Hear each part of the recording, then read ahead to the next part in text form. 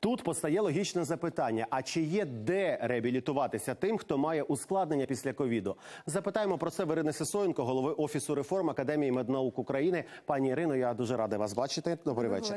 Ви не тільки голова офісу реформ, ви ще й президент асоціації процитую фізичної реабілітаційної медицини та курортології. Тож. Кому як не вам добре знати, чи готова наша медицина на сьогодні на гідному рівні і що важливо масово оздоровлювати тих, хто перехворів на ковід у тяжкій формі?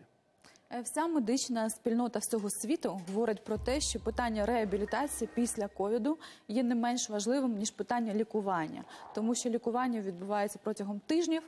А реабілітація, я впевнена в тому, що ми будемо мати з цим справу протягом ще багатьох років, тому що вже як і сказав міністр, і те, про що говорять медики, що реабілітація має бути комплексною, тому що ковід е, створює е, великі наслідки, які називаються постковідні наслідки. Це безпосередньо захворювання е, дихальної системи, це фібрози легенів, це ускладнення хронічних хвороб, це захворюваність, яка збільшується серцево-судинної системи, і безпосередньо також нервова система. Тож це комплексне питання, яке має безпосередньо має зараз сформувати Міністерство охорони здоров'я на рівні і протоколів лікування, і питання реабілітації в амбулаторних умовах, і на госпітальному етапі. І саме головне, я вважаю, що тривалий час реабілітації має відбуватись на базі санаторно-курортних закладів України, тому що ми розуміємо, що питання відновлення органів дихання, недопущення фіброзу легенів якраз може формуватись завдяки тих. Тим природним ресурсам, яким багата Україна.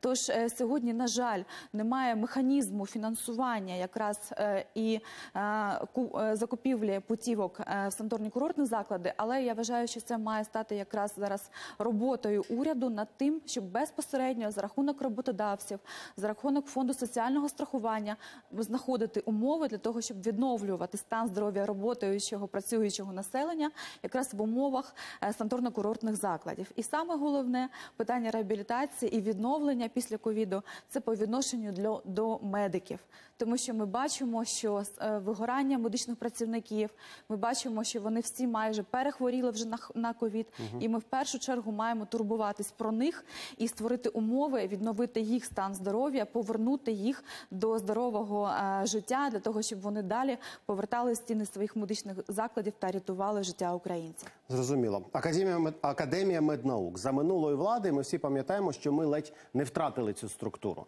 Зараз вона демонструє свою ефективність у боротьбі з пандемією. Чи є від неї користь? От мені цікаво. Ну, е, знаєте, я хочу сказати, що взагалі без розвитку медичної науки не може бути розвитку медицини. Це доводить кожна країна. На жаль, так сталося, що в Україні кожного року було дуже недофінансоване питання якраз академії медичних наук. Але в той же час ми маємо пам'ятати історію. Ми маємо пам'ятати, що саме українські вчені медики дали світу величезну кількість медичних розробок. В тому числі ми пам'ятаємо Володимира Хавкіна, це відомий імунолог, бактеріолог із Одеси, який став винахідником вакцин від холери і чуми, яка в подальшому врятувала життя мільйонів людей по всьому світу. Е, Ілля е, Мечников і так далі. Так далі. Тож е, зараз це можливо звучить скептично, тому що в українську науку, в медичну науку багато років держава не вкладала державних коштів. І відповідно, що інновації, е, відповідне медичне обладнання, і все це є сьогодні застарілим. І взагалі відношення до українських медиків, вчених, воно досить принизливе. Тому я вважаю, що саме зараз час, щоб Україна змінила свою позицію, щоб держава все ж таки повернулась обличчям до тих, які будуть формувати майбутнє української медицини. І академія медичних наук саме зараз має стати тією основою для державного фінансування, для підтримки науковців, для того, щоб їх зберегти.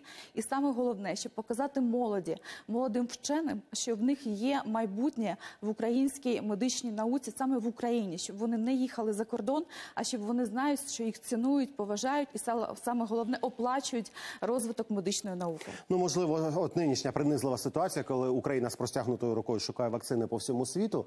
Вона чомусь навчить наш, е, нашу владу, і Так, все ж таки на важливо. науку почнуть виділяти гроші. Дякую вам за цю розмову. Голова офісу реформ Академії медичних наук України Ірина Сисоєнко була гостею подробиць тижня.